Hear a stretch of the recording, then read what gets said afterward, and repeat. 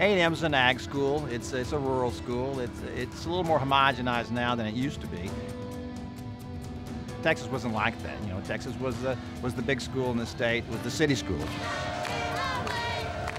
So there was always that big rivalry between the two schools from that standpoint. It was two different kinds of places. There was always a feeling in A&M that when they hired a coach, is he one of ours? Is he, is he an ag? They never asked that in Texas. Can he coach? That's what, that's what we want. We don't care if he's a, a Longhorn or not.